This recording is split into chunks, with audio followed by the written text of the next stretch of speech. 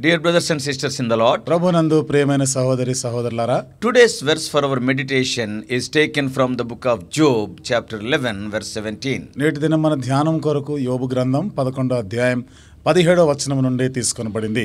Thine age shall be clearer than the noonday thou shall shine forth thou shall be as morning అప్పుడు నీ బ్రతుకు మధ్యాహ్న కాల తేజస్సు కంటే అధికముగా ప్రకాశించును చీకటి కమ్మినను అది అరుణోదయం వలె కాంతిగా నుండును Throughout the book of Job, we observe two important things repeatedly being mentioned. యోబు గ్రంథం అంతా మనము గమనించినట్లయితే రెండు సంగతులు తరచుగా మనకు తారసపడుతుంటాయి First is మొదటిది the self righteousness of Job. యోబు యొక్క స్వనీతి గురించి We can see in his words, often we hear his bitter complaints.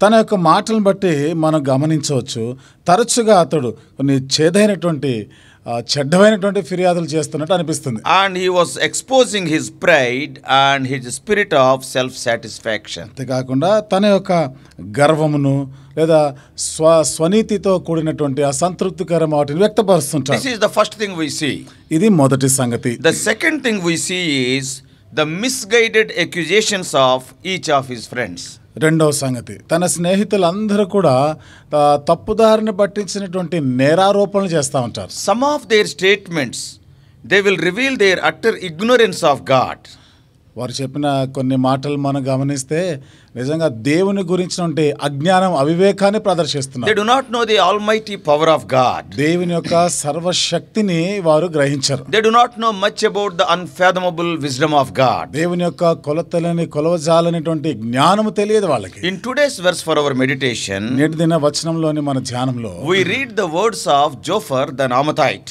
నయమాతీయుడైన Zophar యొక్క మాటలు చూస్తున్నాం. This friend of Job speaks lastly I mean the least of all of them యోబు యొక్క ఈ స్నేహితుడి గురించి చాలా తక్కువగా చెప్పబడింది. నో స్పోక్ వెరీ లిటిల్ అని చాలా తక్కువగా మాట్లాడాడు Zophar spoke in chapter eleven and then in chapter twenty ఈ జోఫరు పదకొండవ వచనంలో మాట్లాడతాడు తర్వాత పదకొండవ అధ్యాయంలోను అలాగే ఇరవయో అధ్యాయంలో మాట్లాడుతున్నాడు. But he speaks more arrogantly and confrontationally అయితే ఇతడు ఎక్కువగా అహంకారంగాను ఏదో ఘర్షణ పడుతున్నట్లుగా మాట్లాడతాడు He speaks without empathy or pity. అతను ఏమి దయ జాలి లేనటువంటి మాటలు మాట్లాడుతాడు rebukes Job. యోబునే గద్దిస్తుంటాడు Jophar teaches theology in verses 7 to 12. ఏడు నుండి ఆ, పన్నెండు వచనాల్లో మనం చూస్తే ఈ జోఫర్ యోబుకి ఇదో వేదాంతం నేర్పిస్తున్నట్టు ఉంటది Zophar almost scolded Job with rough words and humiliated him. మనము ఈ జోఫర్ దాదాపుగా యోబుని ఎంతో కించపరుస్తూ కూడా ఎంతో కరుకుగా కఠోరంగా మాట్లాడుతున్నట్టు అనిపిస్తుంది. ఈ associated Job with an empty headed man and a vain man as written in west twelve పన్నెండో వచనంలో రాయబడినట్లుగా ఇతడు ఏదో అవివేకి బుద్ధిహీనుడు వట్టివాడుగా మాట్లాడుతున్నాడు. That is very painful to Job ఇది యోబుకి ఎంతో బాధ కలిగించింది. Already Eliphaz and Bildad accused Job ఇప్పటికే ఎలిఫస్ బిల్దద్ కూడా యోబు మీద ఎన్నో నేరారోపణలు మోపారు. ఎట్ దట్లో పాయింట్ ఆఫ్ జోబ్స్ లైఫ్ యోబు యొక్క అలాంటి దీన పరిస్థితిలో Zophar should have had sense and compassion to take a new approach Zophar కొంచెం నూతన విధానంలో అనగా తన జాలి దయ చూపించేటట్లుగా ఉండవలసింది. How often we to behave like that మనం కూడా ఎన్నిసార్లు ఈ విధంగా చేస్తుంటాం when others are in deep despair ఇతరులు ఎంతో నిరాశలో ఉండగా instead of identifying our selves with their grief and encouraging them to recover వారి దుఃఖంలో మనం కూడా మరి ఐక్యపరచుకొని వారిని కొంత ప్రోత్సహించేదానికి బదులుగా often we behave foolishly. తరచుగా మనమును బుద్ధిహీనంగా ప్రవర్తిస్తాం We grab the opportunity to show forth how holy we are. మనం ఎంత పరిశుద్ధులమా అనే దానికి అవకాశాలు తీసుకొని మనం ప్రయత్నిస్తుంటాం Bible says in Romans 12:15, Bible గ్రంథంలో రోమిలకు రాసిన పత్రిక పన్నెండో అధ్యాయం పదిహేనో వచనంలో ఈ విధంగా రాయబడింది Rejoice with them that do and weep with them that weep twelve fifty సంతోషించు వారితో సంతోషించుడి ఏడ్చు వారితో ఏడుబుడి when other believers are in troubles and in tears సాటి విశ్వాసులు ఇబ్బందుల్లో కన్నీళ్ళలో ఉన్నప్పుడు never use that opportunity to publicize your saintly character ఎప్పుడు కూడా నీవు నీ భక్తిని నీ పరిశుద్ధతని ఇతరులకి ప్రచురం చేయడానికి అవకాశంగా తీసుకోవద్దు. Never have the attitude that is better than thou ఏదో నీకన్నా నేనే మెరుగైన బాగా మంచివాడిని అని చెప్పుకోవడానికి ప్రయత్నించు some people are having that attitude me holy కొంతమంది చూడండి నేనే పరిశుద్ధుడను అనే వైఖరి ఉంటుంది. That attitude is not good ఇలాంటి వైఖరి మంచిది కాదు. Undoubtedly they must must have committed some mistakes. నిస్సందేహంగా వారు కొన్ని పొరపాట్లు చేసే ఉంటారు Yet identify yourself with them in their troubles. అయినను వారి యొక్క ఇబ్బందులు కష్టాల్లో వారితో ఐక్యపరచుకోవాలి Console them.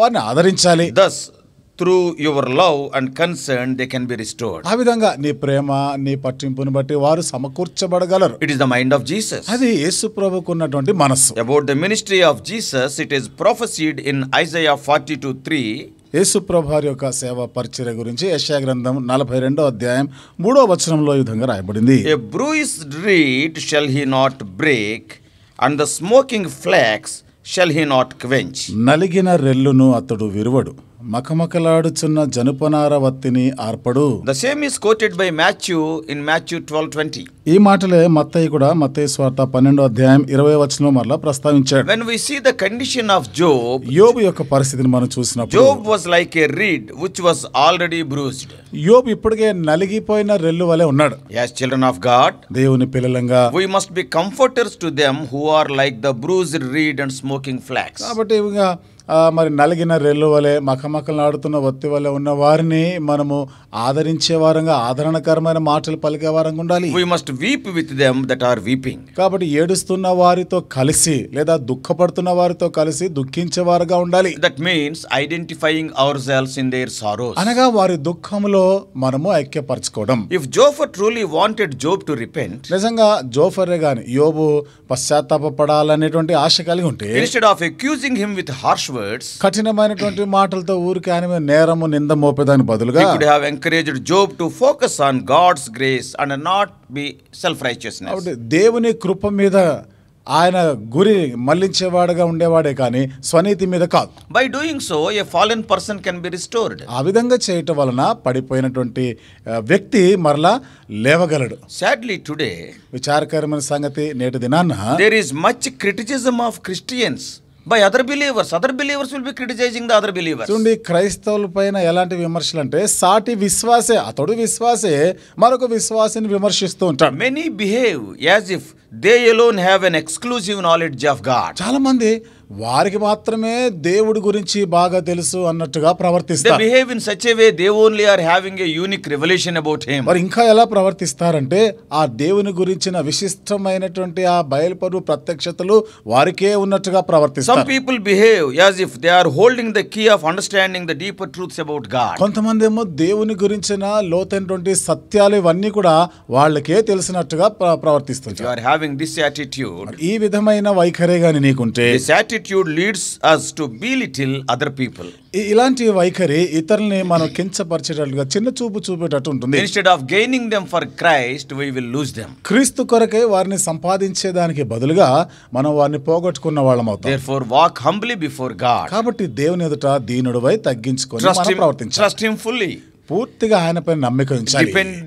depend entirely upon him when you speak కాబట్టి నువ్వు మాట్లాడుతున్నప్పుడు పూర్తిగా ఆయనపైనే ఆధారపడి ఉండాలి. Willingly submit to his leading and guiding కాబట్టి ఆయన నడిపింపు కొరకు ఇష్టపూర్వకంగా నిన్ను నీవు లోపరుచుకునేవాడే ఉండాలి. Finally in verse seventeen which is the verse for our for today చివరికి చూడండి పదిహేడో వచనంలో నేటి దిన వచనము వాగ్దాన వచనంలో Zophar encourages Job to confess and repent of ఈ sin by showing him how God would bless and honor him. చూడండి దేవుడు తనను ఎలా ఆశీర్వదిస్తాడో ఎలా గౌరవిస్తాడో అది చూపిస్తూ తద్వారా తన పాపాన్ని ఒప్పుకోవడానికి మరియు పశ్చాత్తాపడడానికి ఈ జోఫర్ యోబును ప్రోత్సహిస్తున్నాడు And once again, he tried to restore him to a bright, confident, admired life once again. మరొకసారి అతను ఎంతో ప్రకాశవంతమైన నమ్మకమైనటువంటి మెచ్చుకునే జీవితాన్ని మరలా పునరుద్ధరిస్తున్నాడు Jophar says that జోఫర్ చెప్తున్న మాట if Job repents, The remainder of his days, that is, the latter part of his life, which was yet to come should be more attended with the darkness of adversity. కాబట్టి తన మిగిలిన జీవితం మిగిలిన రాబోయే రోజులు అతని జీవితం యొక్క తర్వాత భాగంలో ఇంకా రాబోయే దినాల్లో ప్రతికూలమైనటువంటి ఆ పరిస్థితులు ఆ, అలాంటి ఏమి రాకుండా ఉండకుండా that he was advising. ఆ- అలాంటి సలహాలు ఇస్తున్నాడు He further encourages by saying that the light of prosperity should shine upon him. ఇంకా తనను ఆయన ప్రోత్సహిస్తూ ఆయన యొక్క శ్రేయస్సు యొక్క కాంతి తనపైన ప్రకాశిస్తుందని చెప్తూ మరింత ప్రోత్సహిస్తున్నాడు And the exceed and exceed the sun of the noonday.